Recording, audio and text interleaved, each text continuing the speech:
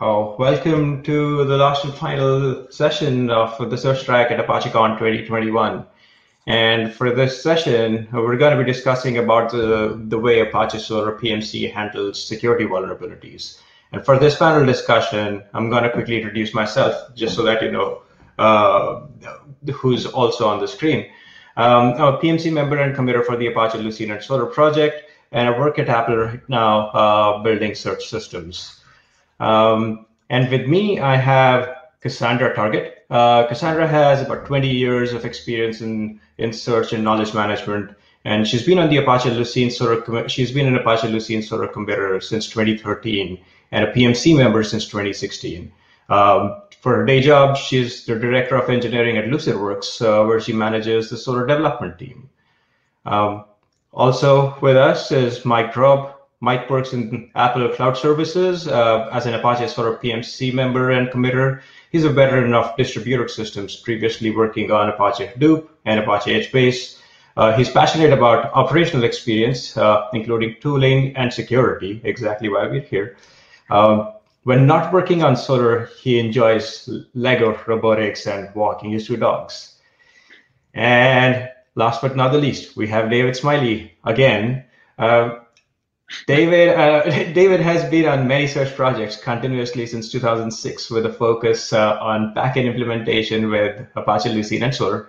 Um, he's actively involved with a lot of open source projects and is a PMC member and committer on the Lucene and Solr project. So he's certainly involved with, with decision making and, and security aspects of the project on a day-to-day basis. So welcome uh, all of you once again. And uh, just to get started, uh, let's talk a little bit about the Solr, Solr as a project. Uh, what what do you think about the scale at which Solr is being used, wherever you use it, however you use it, just to give everyone an idea of what you think about it? This is about security? Yeah. I'll get there. Can you hear me? Yes. Okay. I I don't understand the question. I'm sorry. oh, uh, I'm just asking about the scale at which Solr you use Solr uh, and the impact it might have in terms of just security. Like how, how critical is Solr to your system? Mike, do you want to take that?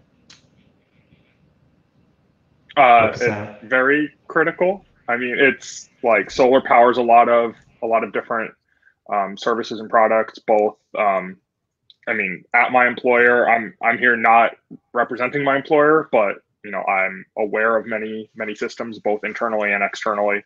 Um, probably like lots, lots and lots and lots of dollars of revenue tied to it. Um, I can't even imagine what that number is. Uh, can't count that high.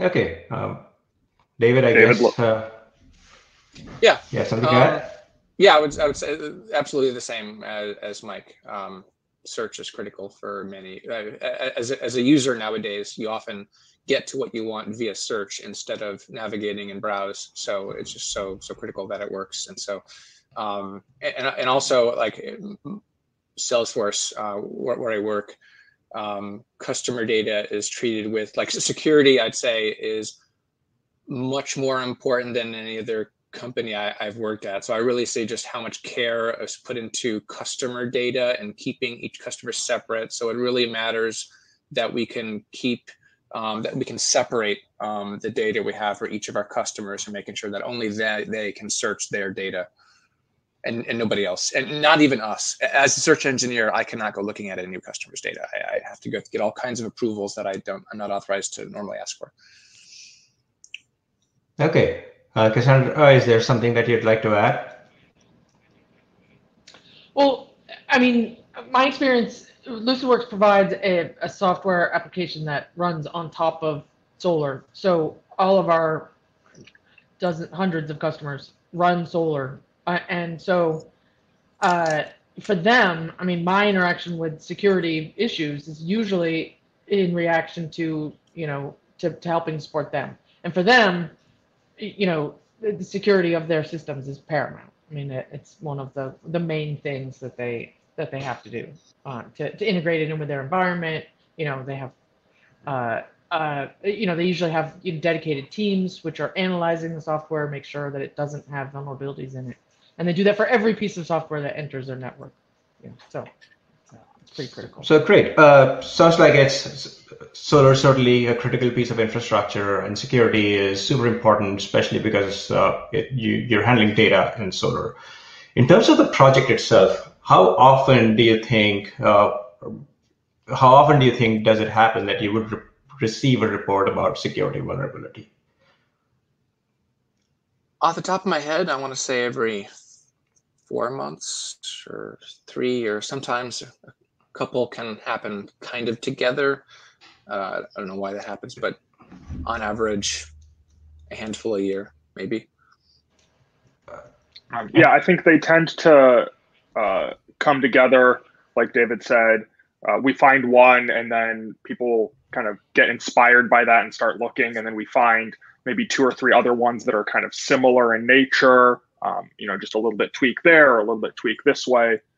Um, so I, I don't know how often exactly, but it's not uncommon by any means. Okay, and who's who are generally these reporters? Where where do these generally end up coming from? Is it something that the PMC or the the contributors find? Uh, where, where's this coming from? I've observed some of them are security researchers. I don't have insights into this field, but I've from what I've gathered, there are people that make their livelihood off of finding bugs and reporting them, and somehow they're incentivized from their employer, or maybe uh, if they're able to report it against a big company, there are bounties, and sometimes we read blogs about very very interesting hacks. Um, so I, I, think there are some people that are that are, are uh, it's definitely tied to their livelihood and in particular, they want a CVE in particular because that is that is their their victory right there. If they don't get a CVE, they're not happy. I can say firsthand that they're not happy, and, and dealing with those um, security reporters is, is not fun. And the PMC, if I don't give them what they want. So, so Cassandra, uh, considering uh, there, at least from what I heard Mike and uh, David mention, doesn't seem like a lot of these are often they they come from within the PMC itself. They're generally externally reported. Is there a process of how how people are supposed to report these? So security researchers or whoever these people might be. Uh, yeah, actually, oh, there is a process, and it's actually dictated by the ASF, the Apache Software Foundation itself. There's Mark Cox this morning gave a talk about this, which I would encourage anyone interested in this to, to find once it's once the video is available um, just to talk about there's a security team within the ASF who handles these. And so the very first thing that should happen if someone thinks they found a problem is to email security at apache uh, .org. And uh, the Solr community and Lucene as well both have security at solr.apache.org and you know lucene.apache.org, um, which can be CC'd on those if you know it could, it could go directly to security at Apache or to to the security at Solr address, um, the security team at the ASF is actually would would also receive would receive the messages either way. And the reason why is because they both um, the, the security team actually you know they have a, a process for handling this and they will make sure that they're tracking it right so if for whatever reason we miss the email or you know don't don't respond right away they will actually interact with the pmc of the project to make sure that it's being addressed in a in a timely manner. And um, if it's you know, an end can help us navigate the waters of you know, it maybe it shouldn't really have a CVE, and we need to explain that to the researcher or or, or something like that. Um, and at that point, the the the the report is uh, goes to the PMC of the project, whether it's forwarded by the security team or not. But they it, it's kept within the PMC, and it's actually a, one of the rules is that it should not be discussed publicly. Um, it should only be discussed with, between the researcher and the PMC. Um, and because if it is a true vulnerability, we do not want it getting out into the wild before we have a chance to mitigate it, right? We do not want, you know, we don't want to leave everyone. Obviously, could be exposed, or certain numbers of people could be exposed, and we don't want that to get out um, before we have a chance to tell people exactly how to prevent themselves from from being vulnerable to it. Um, and it, you know, and then within the PMC, we figure out what we're going to do about it, and uh, may issue a uh, may have a may have a may have to do a new release. We may be able to provide mitigation steps. We may have a workaround. Uh, the workaround may include like turn off this feature. if you're not using it, then you won't be vulnerable. Um, but uh, uh, you know, often we'll we'll combine it with a software release. so that's the so, and then once it's once we release the software, then we you know we'll announce it.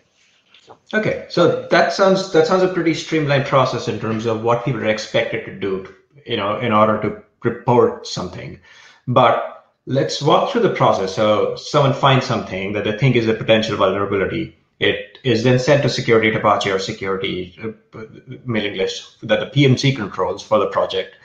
Uh, once the PMC looks at it, are there guidelines that the PMC follows in terms of how or what they would or would not consider a potential CVE? Or is there anything around that? I don't think so. um, unless unless one of you wants to jump in um, as someone who looks at these reports and tries to tries to adjudicate them, I guess you could say. Um, there isn't really. I think it's up to as a project as to define what um, how we handle each report. Um, and, and there's a major there's a key decision point is is it CVE worthy or not? If it is, mm-hmm. it goes through a very well defined process that ASF defines for us. Um, that it doesn't involve, of course, as I said, giving a CVE and doing a release and um, and how we conduct it internally. There ends up being a, uh, a JIRA issue, by the way, that is flagged as private. Um, I think it. Um, I, I, I forget whether it ends up being. Depends, but sometimes there ends up being a public version and the private version. The public version is vague and the private version is sensitive. Or I think I've seen it go multiple ways.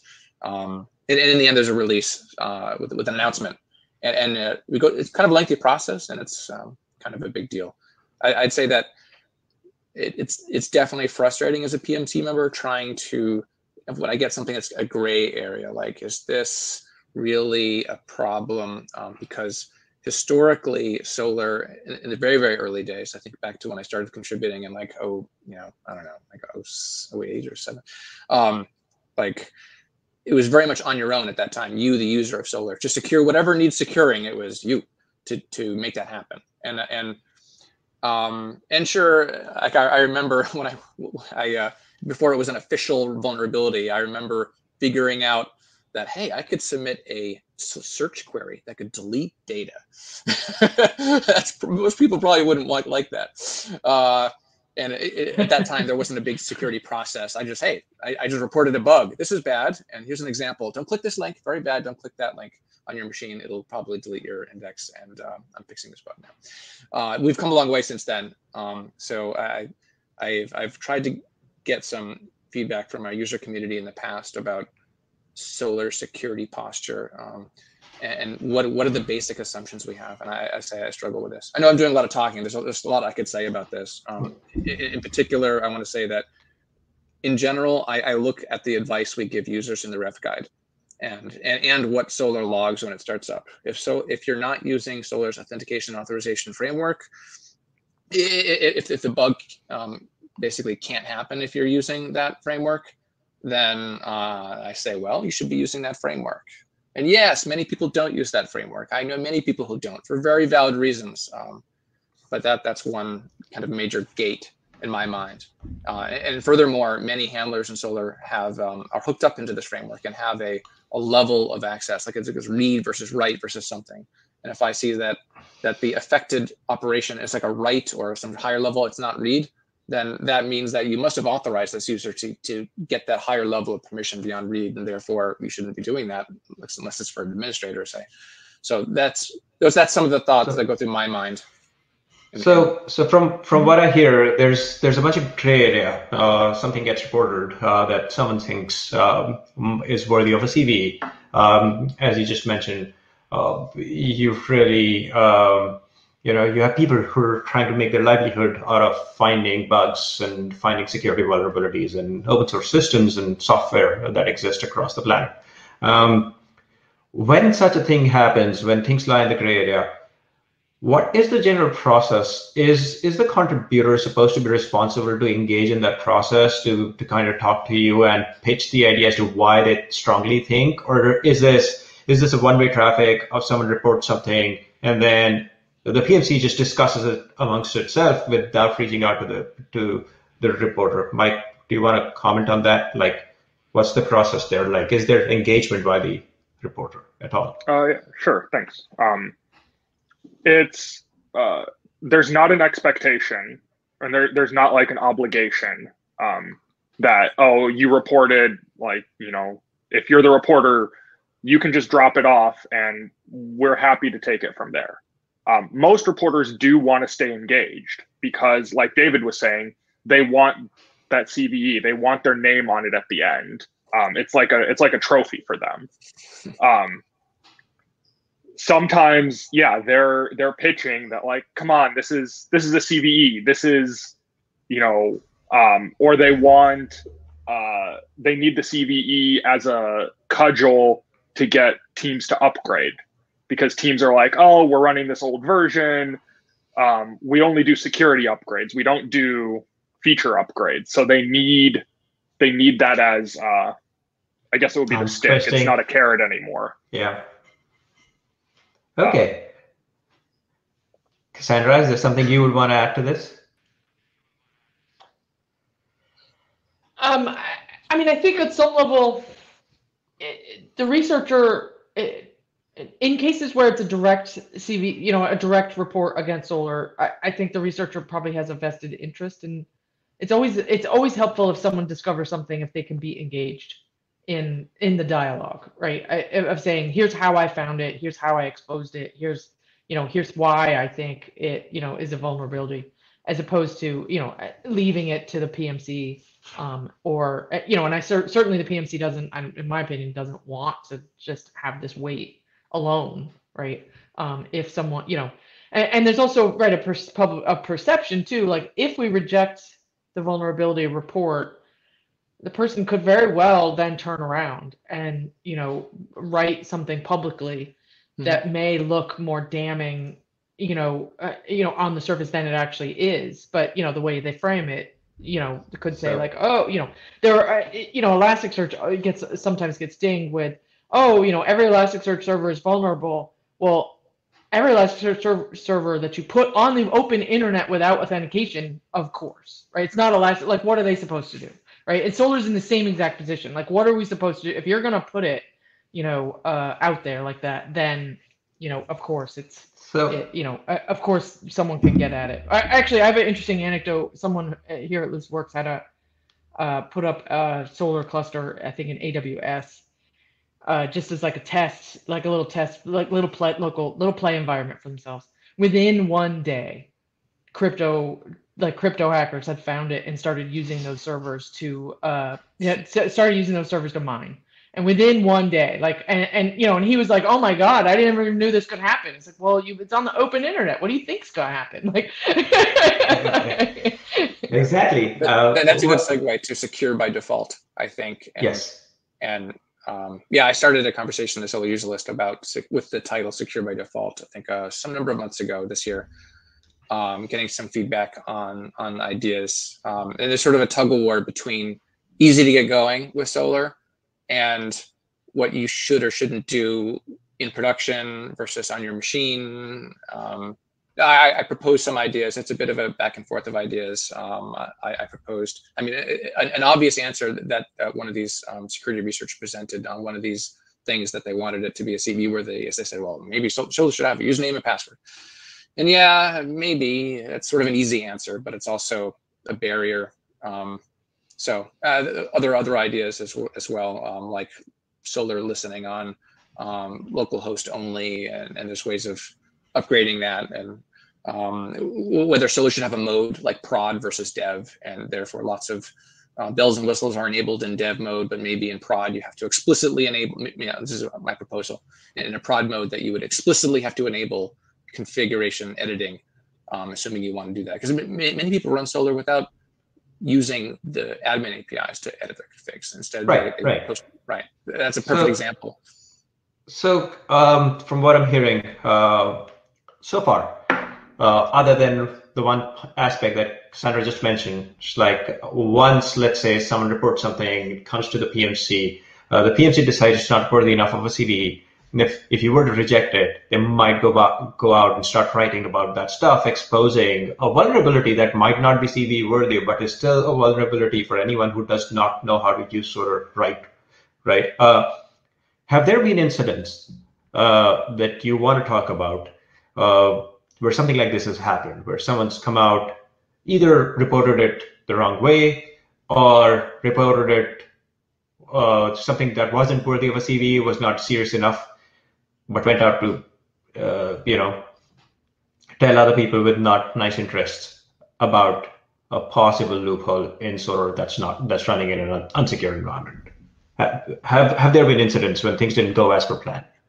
Yes, mm-hmm. I think in the last year, I remember being harassed by. Mm-hmm. I mean, I want to say I've been harassed by the security researcher who kept on arguing for his CVE, and I, it just what it just didn't quite cross the line in my mind. And and that person could point to thousands of Solrs on the public internet, and I said, well, those are those are thousands of users that shouldn't be doing that.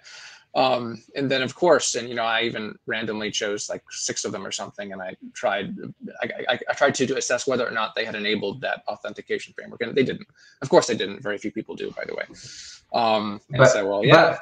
But, but Cassandra, a question to you, I guess. Uh, have you been in a position where you had to like where, where someone did not even follow the the process of reporting it through the regular so um, some people, I would debate, uh, may not know what the ex- what the right way to approach the PMC for problems like these is, and might send something to say the user mailing list.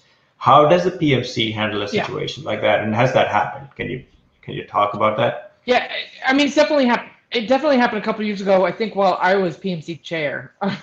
and uh, I think I was on vacation actually at the time, so it was yes. really a good time.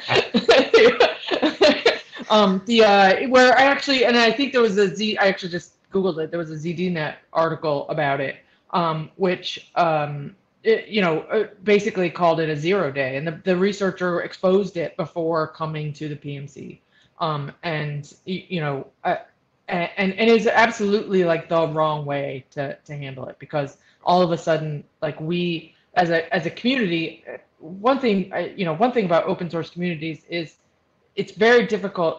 There was also like a keynote talk this morning where someone said when someone was talking about like open source communities, but I mean they're self motivated, they're self organizing. What that means is there's no like head of person to you know whip the troops into like getting things done. You know we all have responsibilities during the day, and so exposing a zero day like vulnerability in an open source project is one of the worst things you can do because it is really hard to to fix to solve like to you know we're not you know Microsoft or Apple or you know where we've got teams of people like ready you know at the ready to like come out with patches. how, how, did how, how did the Solr community handle something like that? Like uh, something got written in the media before the PMC knew about it, and the PMC learned about it from the article that was published, uh, available for people to read and exploit. Is this the XMLQ parser one? Is, is uh, actually, it was the config API one. Never mind. Yeah. Oh, um, so the, uh, more than one. Yeah, maybe. oh, yeah. yeah, there was XML one. There were two that were like announced together, but yes. Yeah, but we already had when this was announced, we actually had a fix for that, and that they sort of said, "Here's a fix for this one. Oh, and here's a zero day," and it was sort of like, "Well, wait." we don't know. Um, so I, you know, we had to. I mean, so we did have to. People had to sort of self motivate and take it seriously. And I mean, there was a lot of strife around it, if I recall correctly. Um, and it was, uh, you know, through as I said, I was on vacation. It just threw everything into, you know, disarray. Um, and we did. I mean, I think we came out with a patch pretty quickly. Um, eh, you know, considering, but it was it it, it was really hard time. Um, and obviously we it did expose some some flaws in the process in the community. Um, we actually tightened up quite a bit with we, that's when we made the security mailing list. Um, that's when you know we actually we started actually getting uh, I think there's a notification that comes to the PMC like every week about any possible Jira issues that are private that have been filed, you know, that maybe need attention. Um, so, uh, it, you know, we actually tightened up some of the processes. So at least we'd get if notifications had come through, at least we would have gotten them. We would get them, um, and you know, wrote a specific security page on the website, you know, to to to kind of you know, and and really tightened up the ref guide language about how you should be, and and came up with some things that we fixed in Solr too, um, you know, about you know trying to actually take more of a secure by default posture. Um, okay. Which very much was the message before that was very much like what David said earlier. You know, uh, it's up to it's you on to you. figure it out, yeah. and it's up to you to do it. Right. Yeah. So, uh, Mike, you've been involved with a bunch of uh, CVE reports and fixes in the recent past, right? Um, I'd like to know what's the process like in terms of uh, but Lucene Solr used to be this one thing, the repository split. So now, you know, there's the, the repositories in multiple places. If you really look at where the 9x release is going to come from, so the, the main branch is somewhere else and the 8x is somewhere else and it looks different. So there's complexities around backporting. Is there is there a guideline that the community follows, like you followed for your recent fixes after the projects have uh, split up? Like how what's what's the guidance like? Uh, yeah, so we we try to backport. Obviously, like if if the fix is just on unreleased code, then it's not doing anybody any good. And part of part of the security process that's defined by the the foundation force is you know you have to release the fix um, before you can announce it so usually um, we'll backport it into a uh, a bug fix release or a double dot or whatever you want to call it. So like um, 882 was a uh, had two, three, had three CVEs in it, um, and then uh, even normally we don't go back another version, but um, even after we were well into the eight line, we still did a seven seven two and a 773 for um, I don't even remember what that one was, but I do remember that it was, it was like particularly egregious um, security vulnerability, and we're like, yeah, we should we should dust off the old the old line and kind of help the people out that are on the old versions. Um, Interesting. So um, well, it seems like the community tries to do as much good as possible, uh, of course, within whatever bandwidth is available to the people who are working on the project. Um, what's the process like once the once you have the fix uh, and you've released it? How does the rest of the world, the users, basically get to know about some there is a problem with existing systems and they should upgrade? Like, how how's that communicated? Uh, is this is this for me again?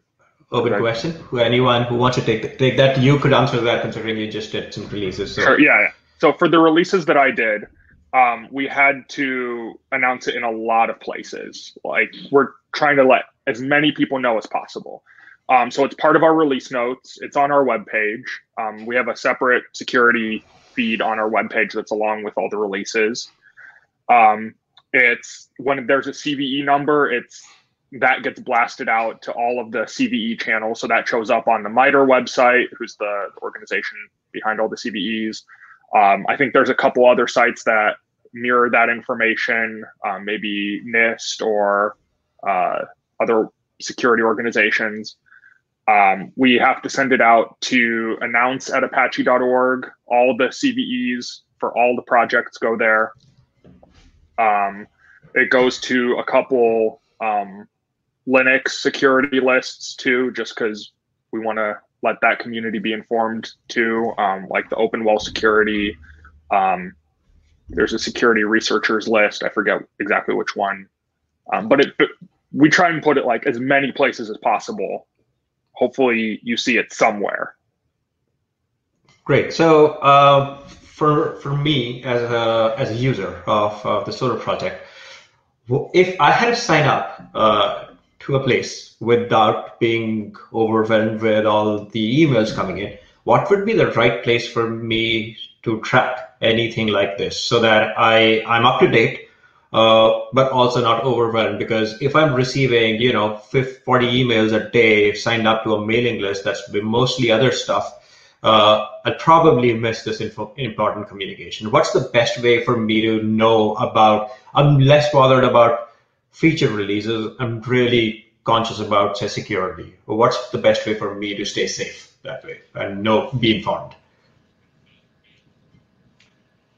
I would probably say if you're you should subscribe to the feed that's on the security page on the website because then that that that's just you know just news items related to CVEs. Is, is that is that like an RSS and it'd be pretty low traffic. Yeah, okay. it has an RSS feed. Mm-hmm. Okay, so it's not a it's not a mailing list. Uh, it is an mm-hmm. okay, great. Um, that is that is really good to know. Um, do you want to talk? I was yeah. going to add, add something. In general, I mean, many, I mean, most projects to have lots of dependencies, not just solr, but other things. And it's becoming more and more common for there to be scanners to say, hey, your dependency is out of date. Um, and in particular, point out a, a, a so-called patch release or the third digit jump. So if you're on a certain version of Solr that that is getting a maintenance release, it's po- probable there could be a there, there could be a security vulnerability being fixed in there. So in general, just paying attention to those things, and because it's not just Solr here. This is mm. um, there are many things that projects depend on. That that's a really good point because if we upgrade a dependency because there's a CVE and an older version, we're not going to necessarily announce that. We're just going to say that the version was bumped. Um, and uh, it's actually a nice segue into vulnerability scanners in general if we want to go there. Hmm. I mentioned to these guys earlier, I had a lot of thoughts. I, I, I, I have a, I, I have, I, I want to take this conversation into a different path, considering, um, you know, all of you work at, at companies where, um, you know, there's, there's only a handful of Solr PMC members across the world uh, who are kind of privy to this information before it's public information. Um, and from what one of you mentioned earlier in this discussion, the reason why you want to keep this information is to make sure that it does not get into the hands of people who should not have this, right, before the release is out. Um, being at the companies that you work at, uh, knowing that you're engaged with people who are using Solr at scale, how do you how do you work with those people wearing different hats, David, as you mentioned, uh, not letting others know that you know about something specific, but still trying to keep your system safe? Like how do you how do you work? How do you walk that fine line? Uh, I'd want to get an answer from each one of you on that. Do you mind asking? Well, maybe if they answer first. I was hoping you could clarify the question a little bit. Like, how do I walk sure. a fine line of? So, so uh, you work at companies where you can't talk about a vulnerability, but you know about it because you're on the PMC. Now, yeah. how do you how do you tell how do you not tell the rest of your team that they should not be doing this right now without telling them there's a known CVE here, we're working on it, it's yet to be released, but I can't tell you about it. So, Mike, do you want to take that? Maybe that's going to help David as well understand that. Um, yeah. So, it it to be blunt a little bit, like you just you don't tell them, right? It's they'll find out in general. Um, people users they're going to find out with the rest of the world um like they don't get special privileges um i i want to say that there's there's a little bit of an exception for like i'm working with smart people everybody's working with smart people um and like if i don't understand something about crypto or like something about like how do these pieces fit together um you know, I have these resources available to me. Um, I'm not going to try to figure out like, oh, okay, is this encryption correct? Am I doing this right? Like, and just kind of stumble around in the dark. So I will ask other folks about like, hey, what's what's the right way to do this? What's the right way to solve this? Um, but I'm not going to be telling them like, oh, this is for this is for a solr zero day exploit that if you knew about this, you know, like all the public servers would be hosed. if you okay. knew, you'd freak out. yeah, if you knew, you'd freak out. Like it's, it's like how you know you, you can okay. get help without telling people So- exactly what the problem Yeah. is. David? And, and I'd say I'm the same. I just don't. I just don't tell. I just don't tell them. I mean, I you know, I mean, I, I wait until it's out, and then I will say, you know, I mean, so for for LucidWorks, I mean, we have this product Fusion. When we have a solr upgrade, we have to have a new release of Fusion. So you know, I, I just kind of wait till it's out, and then say, okay, now you need to do. Yeah, now now the Fusion team needs to figure out like what you're going to do about this, um, because it's sort of a, a dependency there. Uh, David, what's your take? So my my understanding is not that. Um, so I may be, you know, I may be wrong, but my understanding is that is that this knowledge is not treated like with with absolute secrecy. Is that it needs to be um, only shared with with care, with relaying the knowledge that it's not public to a colleague that can help you fix it. For example, like at the time, I remember seeing a vulnerability reported by probably a security researcher and thinking, hey, I bet my wouldn't it be nice if my team could fix this problem. And I go to my colleague Bruno, and I and at the time Bruno was I don't even know if he was a committer yet, whatever, but he wasn't on the PMC, so he didn't know about this. And I said, well, hey, you know, I, I can tell you about this vulnerability so you can help fix it. Um, that seemed perfectly reasonable to me. I wasn't trying to blab amongst the world. It was just it was I shared with with, with intentionally and and saying that this is private. So that, that was So, relatively you, straightforward. so, so from what I understand, seems like a consensus, or at least in the minds of the three of you, at least, where you're willing to talk about it to the people you know are not going to cause harm and going to bring value uh, in the effort to fix the known vulnerability, right? Or to figure out whether that's a vulnerability. If there's any value that can be provided by someone, you're happy to get their help and to share some information with them. Uh, so there's not a hard line of like I cannot talk, tell anyone about anything like this, but I'm gonna be I'm gonna make a judgment call. Great. Um, Yeah, I want to. Can I add one thing to that, Anshum? yeah. Yeah. um, part of the part of the issue is you know obviously we want to have all this transparency. We're doing open source. We're doing this community development. But also for security issues um, if you share the issue sometimes there's just not a remediation that people can do. Like if the answer is you need to upgrade but there's not a release for them to upgrade to then like what's what's the point of taking my time and taking their time to worry about this thing that there's no there's no actionable um, mitigation or remediation for for the security issue um, so that's that's part of it too like why Yeah. not just Mhm, share mhm. everywhere Yeah. Mhm. Uh, and, and, and, we are- you know, I, I have made the mistake. I I have made the mistake in the past of letting uh, sort of people know a little bit that something was coming, and and then suddenly they wanted to be part of this part of the solution in ways that they weren't just not able. Right? It needs to be someone who can actually impact the solution. You know, uh, whether by helping helping figure it out. You know, I mean, I, I remember one time I ended up in like two days of meetings about like how we're going to tell customers about a thing that had didn't even have a solution yet. You know, and I was like, I'm never Mhm. doing this again.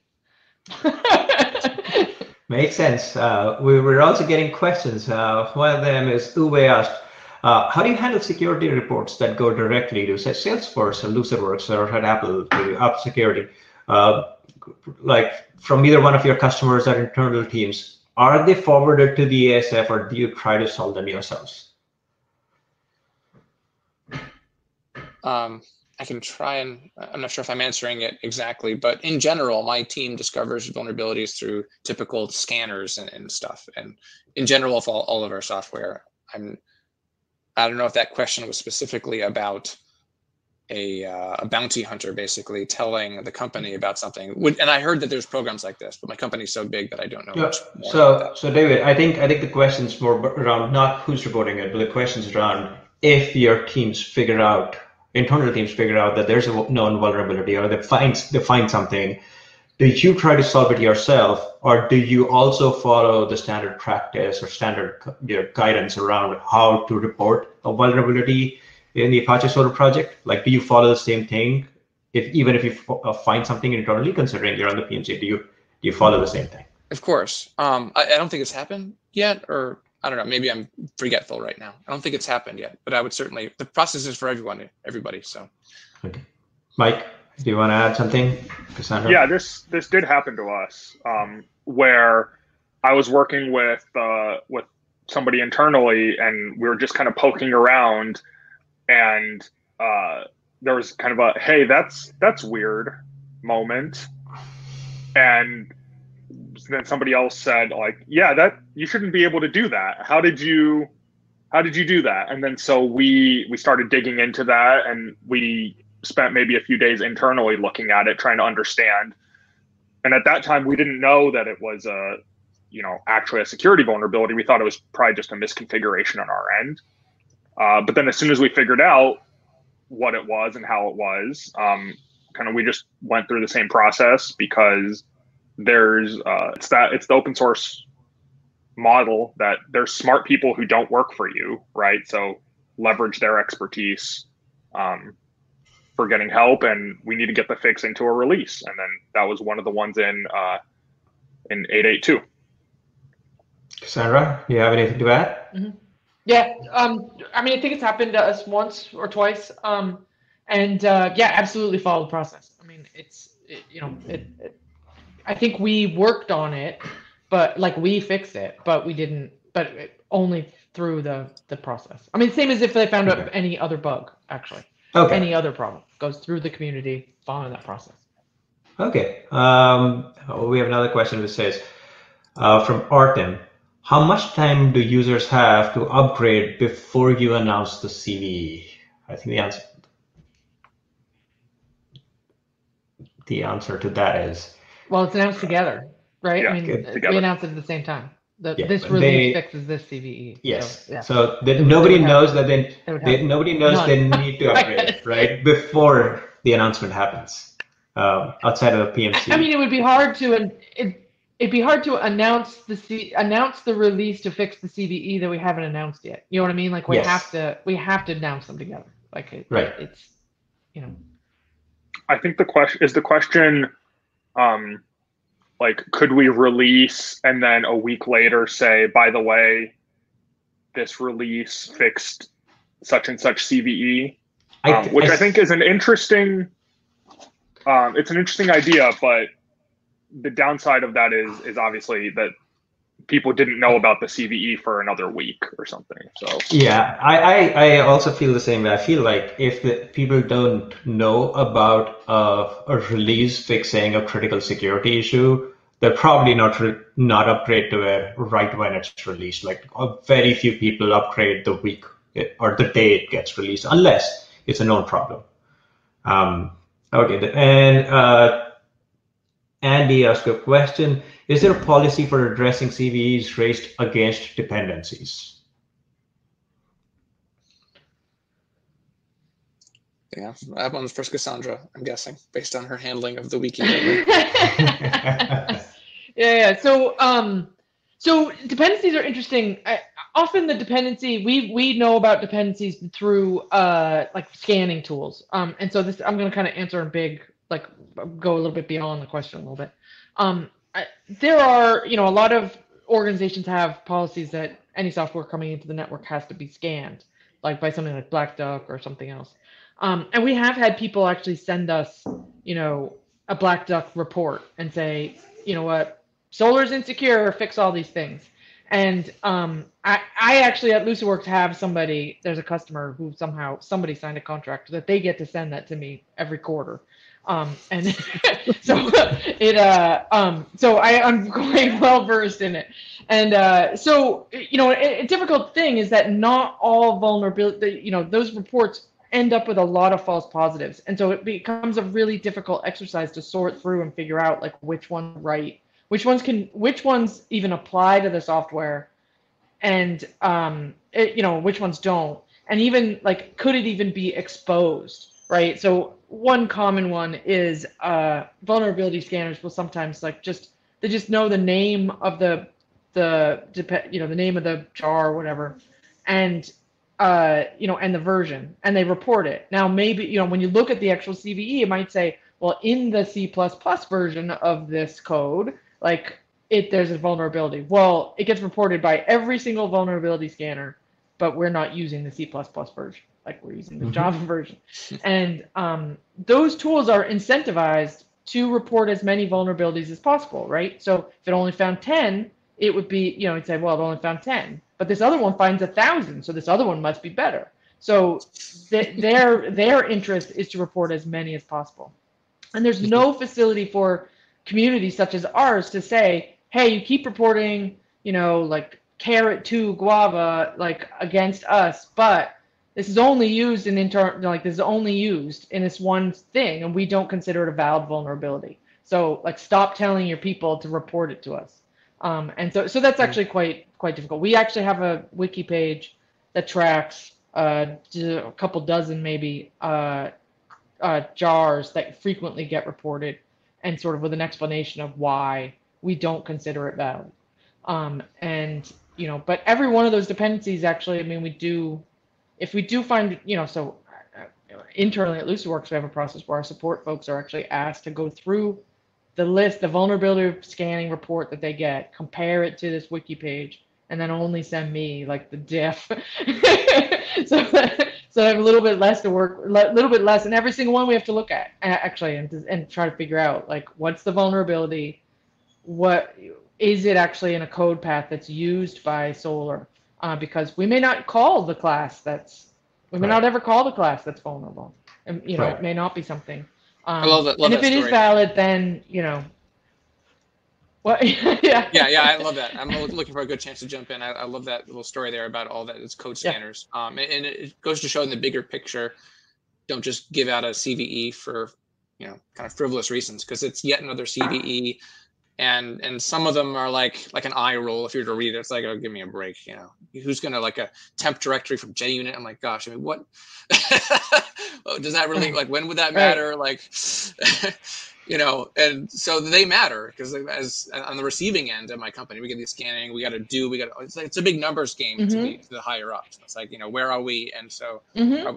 you know, basically we upgrade and, and we try and upgrade. And if we can't, then we look closer at the CVE and then we say, hey, you know, this one doesn't really matter. And then we have to argue that it doesn't matter and get a justification that it doesn't matter. Um, some of these CVEs never should have existed in the first place, maybe. Um, and there's not enough metadata behind them to say that this CVE Wow. Okay. Yeah. This was a big one. I remember the mm-hmm. biggest one that ever mm-hmm. mattered to solr, which is someone could send in the query. They could like switch the switch the parser and then activate some that that was the net that CVE. The alarm bells needed to go off. Many of the other ones, eh, you know. Well, Uwe, Uwe did something I would call that bad. Uwe, Uwe sent a link to the chat for his website um, do not click on the link because if you do click on that link and are running an old version of Solr on your host, it's going to nuke your data. So uh, a link on Uwe's website is going to nuke data on a Solr instance running on your machine. So just don't do that. There's an image that gets loaded that you will never know about, uh, but your data would be gone. Um, yeah. um, but we're almost we have been out of time, but uh, let I want to wrap this up. Uh, and before I wrap, I want to know from each one of you: uh, is this what what what would you like to communicate with with a community uh, in terms of just security aspects and either how they report it, how they look at it, how they engage with us. Um, David, do you want to go first? I th- I think. Um in general, I think we as a project do fine in telling users what they need to do if there's a vulnerability. That's it's, it's well, it's on the website clearly marked, and I think most people follow the, the process. So I think that's working. I, I would say though that the bigger issue that I find is that as a, as a you know a project owner thinking of the project, the project's health, um, I think our security kind of posture and advice is a bit awkward. We have solr of the past, which was entirely on you, the user, to secure everything. And then the Solr of the present is a bit of a mixed message because hey, we've got an authorization framework and an authentication framework. We got all these frameworks and and um, you know, does that mean that you can finally put solr on the public internet? No, you should still not do that. Um, so so what what what is you know so what should you do? So I think it's um, um, I don't know. I I, I think there's um, there's there's something is, is needed to to put solr in a more clear to, to more for, for the solr project itself to devise a security model that is, is um, realistic um, and, and, communicate that to the users. Because right now it's honestly a bit of a mixed message. I'm very sympathetic to to users and on the project side to the project as itself as well. Okay, great. Uh, mm. Mike, do you want to go next? Uh, yeah, I mean, I'll just say we we take the all the security reports very seriously. Um, we we investigate them. We try to solve them as best as we can. Um, we are. I'll echo what David said. Like you know, we are very judicious about what we accept because we know that it creates more work for other people and for enterprises and for companies that depend on this. Um, and sometimes it's just more noise. Um, so not not everything is a security issue, but the things that are security issues are very important to us. Um, okay, uh, Cassandra.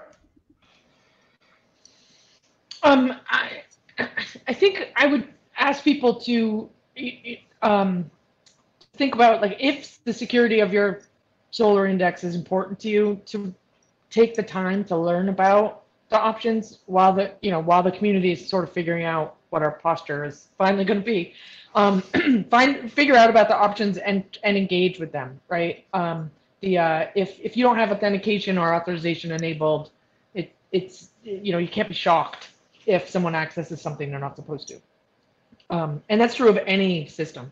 Um, and I might actually also ask the user community to like tell us what they would like Solr to do, right? Like we are one difficulty with us figuring out like our message of should it be open by default or secure by default or closed by default is that we're not sure like what the user community would like you know do they want it to be all locked by default do they want to go through i mean that you know it is a barrier to get things going is that what they would that's, like uh, or, it's hard for yeah. us to know right sometimes I think. yeah i guess that's the fine line of are do you want it an easy thing out of the box versus it's secure, but then you have to set all of these things up before you're able to do anything on this. So uh, chicken and right. eggish kind of problem. Okay, good. No, mm-hmm. well, great. Uh, we're certainly out of time, but this was great. Uh, I'm I'm pretty sure people who who've watched this right now and people who watch this uh, recorded version of this later are going to get a ton of value from this, both in terms of the process they should be following,